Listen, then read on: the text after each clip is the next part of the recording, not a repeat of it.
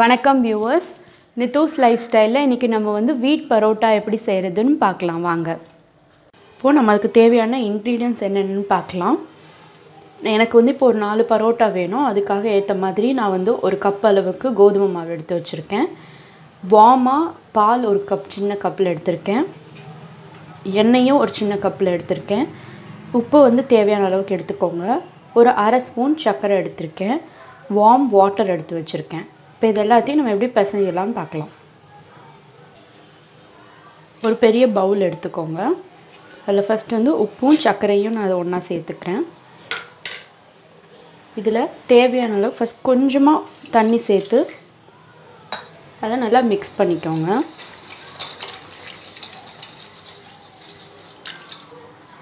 நல்லா மிக்ஸ் பண்ணிவிட்டு இதில் கோதுமை மாவையும் சேர்த்துக்கலாம்.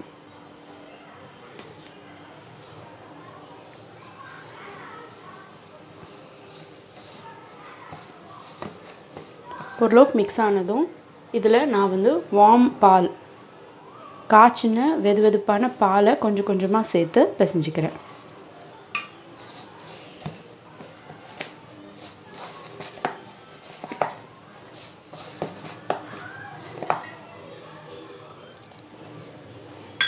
ஃபுல்லாக பாலே வேணும்னாலும் நீங்கள் சேர்த்துக்கலாம்.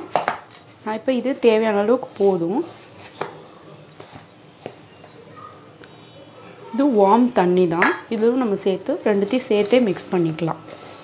ஃபுல்லாக பால் மட்டும் போட்டோன்னா சிலருக்கு பிடிக்காது. அது டேஸ்ட் ஒரு மாதிரி ஆகிடும் அதனால நான் வந்து தண்ணி பாதி பால் பாதி சேர்த்துக்கிறேன். மாவு நல்லா ஒன்று செய்கிற அளவுக்கு நல்லா மிக்ஸ் பண்ணிவிடுங்க இப்போது மாவுலாம் நல்லா ஒன்று சேர்ந்துருச்சு. இதில் இப்போது நம்ம எடுத்து வச்சுருக்க எண்ணெயில் ஒரு கால் பங்கு மட்டும் இதில் இப்போ சேர்த்துக்கலாம். சேர்த்து இதில் நம்ம எவ்வளோக்கு எவ்வளோ நல்லா பிசைகிறோமோ அப்போ தான் வந்து அந்த மாவு வந்து சாஃப்டாக இருக்கும்.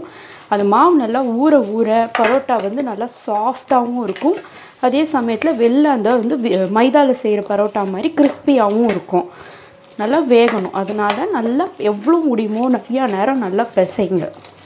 எல்லாத்தையும் ஒன்று சேர்ந்து இப்படி நல்லா நம்ம பிசையும் போது தான் அதோடய சாஃப்ட்னஸ் கிடைக்கும். இந்த மாதிரி நல்லா ஒரு ஃபைவ் மினிட்ஸ் நல்லா பிசையணும். இப்போது நல்லா பிசைஞ்சு ஒன்று சேர்த்துட்டு நல்லா மிக்ஸ் பண்ணி அதை பால் மாதிரி நல்லா ரவுண்ட் பண்ணிக்கோங்க. இப்போ நல்லா ரவுண்ட் பண்ணிவிட்டு இதில் இன்னொரு ஒரு ஸ்பூன் அளவுக்கு மெல்லமாக ஆயில் தேய்ச்சி நல்லா அதை வந்து மாய்ஸ்சர் பண்ணிக்கோங்க. வந்து ட்ரை ஆகாமல் இருக்கிறதுக்காக. இதில் எண்ணெய் நிறைய யூஸ் ஆக தான் செய்யும். ஏன்னா பரோட்டானா நமக்கு அந்த டேஸ்ட் கிடைக்கணுன்னா நம்ம அதை நிறைய யூஸ் பண்ணி தான் ஆகணும். இப்போ இதை நல்லா நம்ம வந்து ஒரு டுவெண்ட்டி டு தேர்ட்டி மினிட்ஸ் நல்லா ஊற விடலாம். அப்போ தான் அதோடய டேஸ்ட் நல்லாயிருக்கும் சாஃப்டாக இருக்கும். ஒரு ஆஃப் அன் ஹவர் ஊறினதுக்கப்புறம் பாருங்கள் மாவு எவ்வளோ சாஃப்டாக இருக்குன்னு. ஸோ திரும்ப நம்ம இதை வந்து ஒரு டூ டு த்ரீ மினிட்ஸ் வந்து நல்லா பிசைஞ்சிக்கலாம்.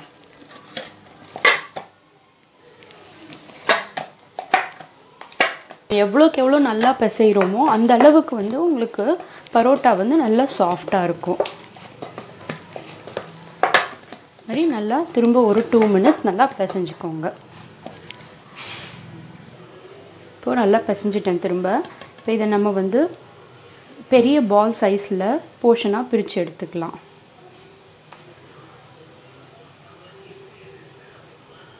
இந்த மாதிரி ஒரு ஃபோர் பால்ஸ் எவ்வளோ பூ சப் பரோட்டா வேணுமோ உங்களுக்கு அதுக்கேற்ற அளவுக்கு பால்ஸ் பண்ணி வச்சுக்கோங்க.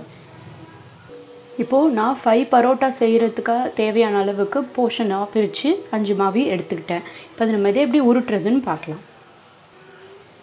இப்போது நீங்கள் வந்து பட்டர் பேப்பர் இல்லைன்னா வந்து ஏதாவது ரோலிங் பேப்பர் மாதிரி இருந்தால் அது யூஸ் பண்ணிக்கலாம். நான் இப்போ வந்து உங்களுக்கு சிம்பிளாக ஒரு சின்ன பெரிய பிளேட் இருக்கு இல்லைங்களா? அந்த பிளேட்டில் எப்படி செய்கிறதுன்னு சொல்கிறேன் ஃபஸ்ட் நல்லா மாவை வந்து நம்ம இந்த மாதிரி தூவிக்கணும். தூவிட்டு நம்ம ரவுண்ட் பண்ணி வச்சுருக்க ஒரு பாலை எடுத்து இப்போது நம்ம இதில் ரோல் பண்ணலாம். மாதிரி எவ்வளோ பெருசாக பண்ண முடியுமோ அந்த அளவுக்கு இதை நம்ம நல்லா பெருசாக ரொம்ப தின்னாக பண்ணிக்கணும்.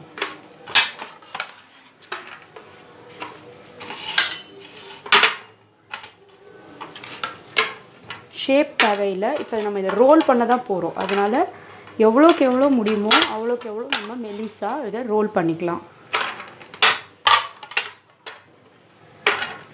ஸோ மைதா மாவுனா உங்களுக்கு அது வந்து அப்படியே ரப்பர் மாதிரி இழுத்துட்டு போகும். கை வச்சே கூட பண்ண முடியும். இந்த அடிச்சே பண்ணுவாங்க பார்த்துருப்பீங்க. பட் இது வந்து கோதுமை மாவுங்கிறனால நம்ம இப்படி ரோல் பண்ணி ரோல் பண்ணி இதை பெருசு பண்ணிக்கலாம். இந்த மாதிரி ரோல் பண்ணிகிட்டே இருங்க. எவ்வளோக்கு எவ்வளோ முடியுமோ அவ்வளோ தூரம் பெருசாகிற வரைக்கும். நல்லா பேப்பர் மாதிரி அது வந்து தின்னாக இருக்கணும். அப்போ தான் உங்களுக்கு வந்து அதை ஃபோல்ட் பண்ணி ரோல் பண்ணும்போது நல்லாயிருக்கும் பரோட்டாலையும் லேயர்ஸ் வந்து நிறையா வரும். மாதிரி நீங்கள் எவ்வளோக்கு எவ்வளோ முடியுமோ நல்லா ரோல் பண்ணிகிட்டே இருங்க. இப்போ முடிஞ்ச அளவுக்கு நான் நல்லா தின்னாக ரோல் பண்ணிட்டேன். இப்போ இதில் நம்ம ஆல்ரெடி ரிமைனிங் இருக்கிற ஆயிலையே வந்து நல்லா ஸ்ப்ரெட் பண்ணிக்கலாம். ப்ரஷ் இருந்தால் ப்ரெஷ்லேயும் பண்ணிக்கலாம். நான் இப்போ வந்து சும்மா ஹேண்ட்லேயே உங்களுக்கு பண்ணி காட்டுறேன்.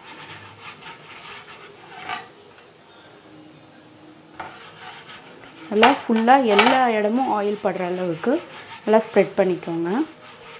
இதில் ஆயில் இல்லை நீங்கள் கீ கூட வேணால் யூஸ் பண்ணிக்கலாம். இப்போது இப்போ பொறுமையாக இதை நல்லா எடுங்க.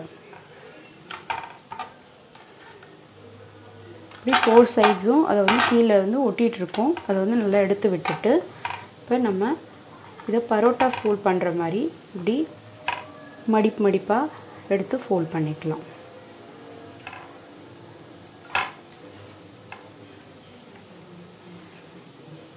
திரும்பவும் எண்ணெய் எடுத்து நல்லா இது ரெண்டு சைட்லேயும் ஆயில் அப்ளை பண்ணிவிட்டு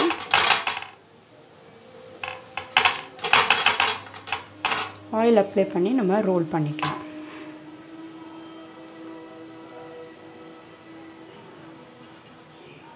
இப்போ இந்த மாதிரி ரோல் பண்ணிவிட்டு இந்த பாட்டமை வந்து இப்படி கீழே வச்சு இப்படி லைட்டாக ப்ரெஸ் பண்ணிடுங்க இப்போது இது மேலேயும் நல்லா ஆயிலை ஸ்ப்ரெட் பண்ணி நல்லா ஊற விட்டுடுங்க. இந்த மாதிரி நம்ம எல்லா பரோட்டாவையும் ரோல் பண்ணி வச்சுக்கலாம். இப்போது நான் வந்து எல்லாத்தையுமே வந்து நல்லா ரோல் பண்ணி நல்லா ஆயில் அப்ளை பண்ணி ஊற வச்சுருக்கேன். இதை வந்து நம்ம இன்னொரு டுவெண்ட்டி மினிட்ஸ் இதை நல்லா ஊற விடலாம். ஊற விடாமலும் செய்யலாம். செஞ்சோன்னா நமக்கு அந்த அளவுக்கு சாஃப்ட்னஸ் வராது. இதை நல்லா இந்த ஆயிலோட அந்த ரோலிங் இதோட நல்லா ஊற விடும்போது அந்த லேயர் லேயராக பார்க்க அழகாக வரும். இது ஒரு ஆஃப் அன் ஹவர் ஊற விடலாம். இப்போது நல்லா ஒரு டுவெண்ட்டி மினிட்ஸ் நான் வந்து இதை நல்லா ஊற விட்டுருக்கேன். இப்போ இதை எடுத்து நம்ம மெல்லமாக ரோல் பண்ணுங்கள் ரொம்ப அழுத்தி பண்ணிங்கன்னா அந்த லேயர்ஸ் எல்லாம் போயிடும். அதனால் பொறுமையாக இது ஆல்ரெடி ஆயில் நிறையா அப்ளை பண்ணியிருக்கனால எதுவும் தேய்க்க தேவையில்லை பவுடரும் எதுவும் போடாமல் அப்படியே மெல்லமாக ரோல் பண்ணுங்கள் ரொம்ப பொத்தினாப்பில் பண்ணும்போது பார்த்திங்கன்னா அந்த லேயர்ஸ் வந்து தனித்தனியாக உங்களுக்கு தெரியுது. உங்களுக்கு எந்த சைஸ்க்கு வேணுமோ அந்த மாதிரி பண்ணிக்கலாம். கொஞ்சம் பெருசாக பண்ணிங்கன்னா நல்லா வேகும் உங்களுக்கு வந்து ஈஸியாக வந்து வே வெந்துடும் சாப்பிடவும் நல்லாயிருக்கும் ரொம்ப திக்காக பண்ணிங்கன்னா ஒரு சிலருக்கு பிடிக்காது. அதனால் பொறுமையாக நல்லா இப்படி பண்ணுங்கள் உங்களுக்கு இப்படி பண்ண வரல வரும்போது அது ரொம்ப ப்ரெஸ் ஆகி லேயர்ஸ் போயிடுதுன்னா லைட்டாக இப்படி ஹேண்டால் ப்ரெஸ் பண்ணலாம். பட் அதை விட இது ஈஸி தான். அதனால் ஆனால் பொறுமையாக பண்ணணும். பார்த்தீங்கன்னா இப்போ லேயர்ஸ் நல்லாவே தெரியுது. ஸோ நீங்கள் ஒன்றும் பயப்படாமல் பொறுமையாகவே இப்படி ரோல் பண்ணிக்கோங்க. இப்போது ரெடி ஆகிடுச்சு நம்ம சுடலாம். இப்போது தவா நல்லா ஹீட் ஆகிடுச்சு இதில் லைட்டாக ஆயில் ஸ்ப்ரெட் பண்ணிவிட்டு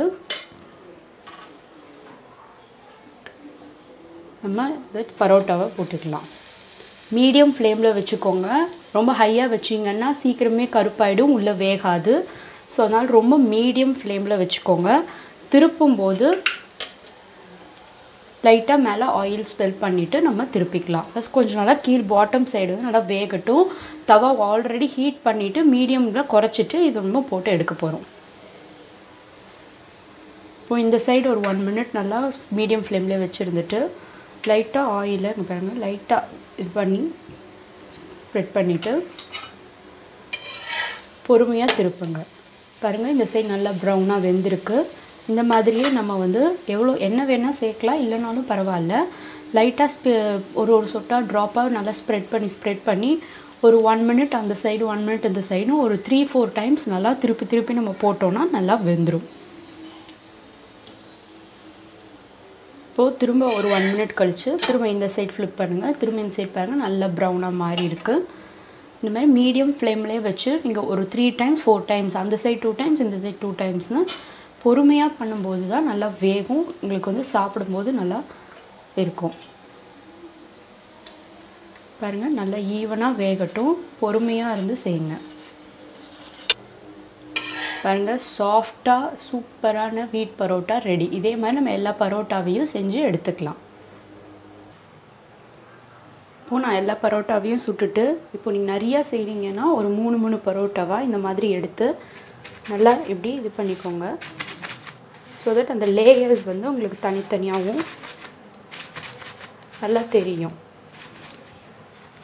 கொஞ்சம் ஆற விட்டு பண்ணுங்கள் கொஞ்சம் வார்மாக இருக்கும்போது பண்ணிங்கன்னா நல்லா வரும்.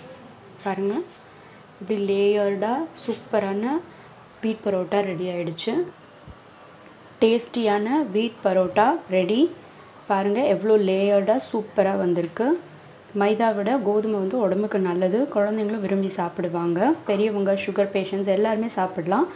எண்ணெய் நீங்கள் எவ்வளோ ஊற்றுறீங்களோ அதை வந்து அந்தளவுக்கு சாஃப்டாக இருக்கும். பட் ஆனால் அவ்வளோ ஆயில் வேண்டாம் அப்படின்னா நீங்கள் வந்து ஆயில் அதுக்கேற்ற மாதிரி ரெடியூஸ் பண்ணிக்கலாம்.